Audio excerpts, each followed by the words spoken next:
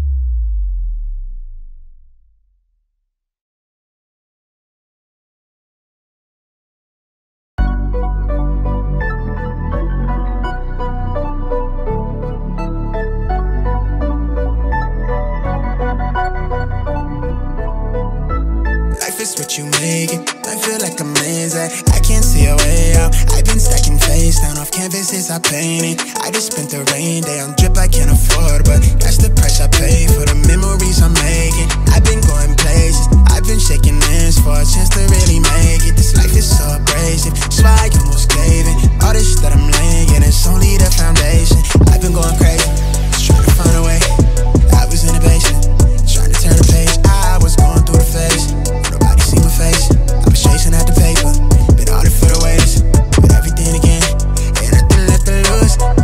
If you're new to the channel, uh, obviously my name is Julio. I got a uh, 2020 Hellcat wide body Charger. I also have a 2021 Duramax Diesel 2500 High Country. Also got a 2018 Mercedes E-Class uh, Benz. Um, and hopefully pretty soon here we're going to be adding a C8 to the channel. Once again, I just love cars. We love the business. Um, so I'm gonna tell you a couple things that I, uh, five best things I, I, I love about my Hellcat the most, um, and then once again I'll maybe make another video about the top five things I hate about my Hellcat. But the first five, so let's get into number one for you. So if you're a Hellcat fan, a Charger fan, wide body fan, the number one thing I absolutely love is the stance. I love how wide this looks. It is a mean stance. So number one would be the stance that I actually sit when it comes to this charger. That wide body is a must. Now I know they sell a ton of kits for it, guys, but I'm gonna tell you right now, there's nothing better than when it comes from the manufacturer and it sits like that as well. That wide body stance just gives it an aggressive look all the way down. So that would absolutely have to be my favorite. Number two, guys, I would absolutely have to say the color. If you haven't seen the F8 green color in person, it is a must. I mean, I'm gonna tell you right now, I wasn't a fan of the green. If you've seen my Gladiator before, that was kind of a greenish, tannish color. It was kind of like what we call gator. But this F8 green pops. Everywhere I go, everybody says they absolutely loves that cover, color. They talk about how badass it looks, how you don't really see too many of these. You see a lot of blacks, you see a lot of whites. I mean, and salute to you guys that got black and white ones out there. They look good too. But man, this green is absolutely amazing. Absolutely, hands down, get tons of love for it every time I pull up on it, okay? Number three, guys, would have to be the startup. You get everybody's attention wherever you start this car up, no matter where you are. People all over love the startup of a Hellcat.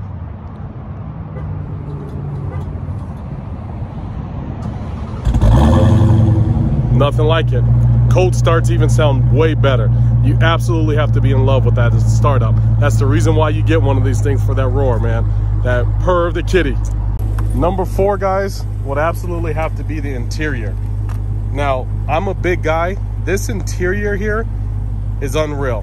I mean, it is absolutely unreal. You obviously know we got the Nappa leather with the Alcantara finishes interior, but you want to talk about comfortable, you want to talk about a smooth ride, you want to talk about feeling at home no matter how many people. If you see me with my G80, I had a problem obviously with the back, having the kids in there. We've already taken this out. Tons of room, tons of leg room, very comfortable ride. I just kind of glide with it. the other thing with the interior guys in the ride when I when I want to talk about that to kind of comment some more on it I've drove this thing at about 140 150 miles per hour um, and this car never ever seems to want to uh, give you any scare or wiggle or like feeling of it just not going to be under control. This car continues to just roar down the streets and it seems like it wants you to go faster and faster which is a dangerous problem but an amazing feeling. I've never once felt out of control. I've weaved through traffic on 150 i know don't try it at home it's not safe but i've never once felt like this car was going to lose control get from underneath me. I mean it was a unbelievable ride the comfortability inside of this vehicle amazing i absolutely love it um, the finishes are just top notch guys I mean, look at this interior. When I talk about the inside of this thing here, I mean, the SRT, it glows at night, guys. I mean, it absolutely glows. The red, right? Everybody knows about the actual red odometers and the, the gauges there. Those are, you know, automatically Hellcat.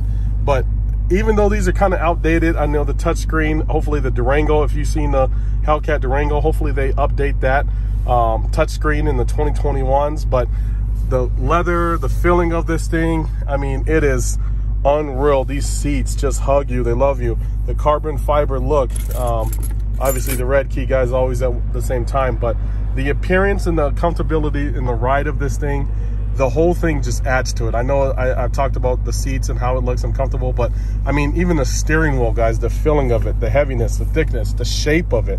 I mean, all of that is key. If you have not been inside of a Hellcat before and drove one of these things, I'm telling you right now, you have to get behind on the wheel of this. That's the reason why so many people who drove Ferraris and Lamborghinis and everything you could imagine, they go, hey, you know what? I'm still impressed by the feel of it. Dodge did an amazing job when it comes to this interior of this vehicle. And guys, my fifth and final thing that I love about the Hellcat, I mean, there's a ton of things I could keep naming, but let's be honest, guys. We don't buy cars because we're trying to impress girls. We buy cars because we know other guys know what the cars are. When you tell somebody you got a Hellcat, that says something. I don't care who you are, how many different cars you own. If you're a real car person, you have a Hellcat in your garage. And I'm telling you, if you own one before, the name by itself, rappers have rap videos about it. Singers, I mean, you name it, that Dodge power, the beauty of this car, they have taken this to another level. The Challenger is impressive. The Demon was amazing. This wide body's amazing. Just saying you have a Hellcat, that level, that's just like something that you just can't get back. You've got to own one. That is the number five thing for me, guys. I'm telling you right now, once you own a Hellcat and you tell everybody, oh, I got a Hellcat, they know. They go, what is that? Or, oh man, I know what that is. From the outside, girls just go, oh, that looks just like a Charger. But once you tell them it's a Hellcat, it's over. Okay, guys, stay tuned. Make sure you subscribe. I'll come back with five things I don't like about the Hellcat. There are a couple things that I don't like about it, um, but stay tuned, subscribe. Make sure you guys get involved with that 2,000 subscriber giveaway. I'm trying to give away some money, some stuff. You know, we got to get this thing moving a little bit more for us, and I might have a surprise like I keep telling you guys. We're adding some more stuff to the channel, okay? Stay tuned. Appreciate the support like always, guys. If you're in the market for a Hellcat, it's definitely a must buy.